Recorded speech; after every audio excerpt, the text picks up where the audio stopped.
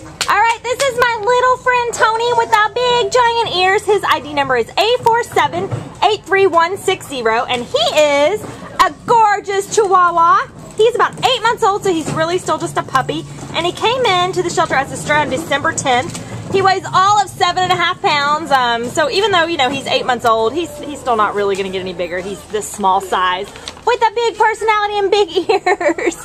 he's so curious. If you see him looking around a little bit, we have noticed since we got him out that he's a very curious little guy. You know, as puppies are, he just wants to check everything out, check everybody out, listen to all the sounds with his big, nice ears. He's super friendly. He gets along well with other dogs. He's very curious about meeting other dogs. He has a couple kennel mates so we know he's good with dogs. And he's been pretty good on a leash. You know, he's a puppy, so of course as puppies go, they could always use some additional training. But he's he's been good on a leash today. And um, when he was walking around here, his tail was just wagging nonstop. Right now, he's he's just kind of cuddled up and, and checking things out. But when he's walking around, his tail never stops wagging. so come on down and meet Tony today at the Baldwin Park Shelter. He is a little guy with a big personality and a big heart, and he would love to have a home for the holidays, wouldn't you, Tony? So come check this little guy out and make him part of your family from the Baldwin Park Shelter.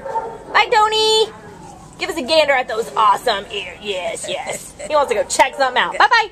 oh, I got the tail wag. Bye-bye, tail wag, you guys.